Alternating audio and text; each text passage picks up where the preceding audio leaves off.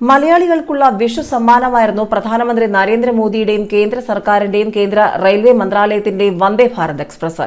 ഇപ്പോൾ മലയാളികൾക്ക് ഓണ സമ്മാനമായി അടുത്ത പ്രഖ്യാപനം ഉണ്ടാകുമോ എന്നുള്ളത് ഏവരും ഉറ്റുനോക്കുകയാണ്.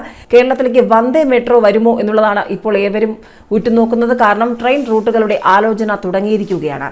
ഏതായാലും എം വി ഗോവിന്ദന്റെയും മുഖ്യമന്ത്രി പിണറായി വിജയന്റെയും കേരളയിൽ മഞ്ഞക്കുറ്റികൾ തെറിപ്പിച്ചുകൊണ്ട് പ്രധാനമന്ത്രി നരേന്ദ്രമോദിയും കേന്ദ്ര റെയിൽവേ മന്ത്രി അശ്വിനി വൈഷ്ണവും കേരളത്തിൽ കുതിച്ചു പായാൻ തന്നെ തീരുമാനിച്ചിരിക്കുകയാണ്. റെയിൽവേ പുതുതായി പുറത്തിറക്കുന്ന A C Vande Bharat train റൂട്ടുകൾ സംബന്ധിച്ച ആലോചന റെയിൽവേ ബോർഡ് ആരംഭിച്ചു. അഞ്ച് വീതം വന്ദേ മെട്രോ ട്രെയിനുകളാണ് ഓരോ സോണിനോട് ശുപാർശ ചെയ്യാൻ ആവശ്യപ്പെട്ടിരിക്കുന്നത്. ഇരുന്നൂറ് കിലോമീറ്റർ ദൂരപരിധി പറയുന്നുണ്ടെങ്കിലും ഇളവുണ്ടാകും. പാസഞ്ചർ ട്രെയിനുകളുടെ എല്ലാ സ്റ്റോപ്പുകളും വന്ദേ മെട്രോയ്ക്ക് ഉണ്ടാകില്ല. എറണാകുളം കോഴിക്കോട് കോഴിക്കോട് പാലക്കാട് പാലക്കാട് കോട്ടയം എറണാകുളം കോയമ്പത്തൂർ മധുര ഗുരുവായൂർ തിരുവനന്തപുരം എറണാകുളം കൊല്ലം തിരുനെൽവേലി കൊല്ലം തൃശൂർ മംഗളൂരു കോഴിക്കോട് നിലമ്പൂർ മേട്ടുപാളയം എന്നീ റൂട്ടുകളിലാണ് കേരളത്തിൽ വന്ദേ മെട്രോ ട്രെയിനുകൾക്ക് സാധ്യത. ഇതിൽ നിലമ്പൂർ പാതയിൽ വൈദ്യുതീകരണം പൂർത്തിയാകാനുണ്ട്. ദക്ഷിണ റെയിൽവേയുടെ ശുപാർശ അനുസരിച്ചാണ് ബോർഡ് തീരുമാനമെടുക്കുക.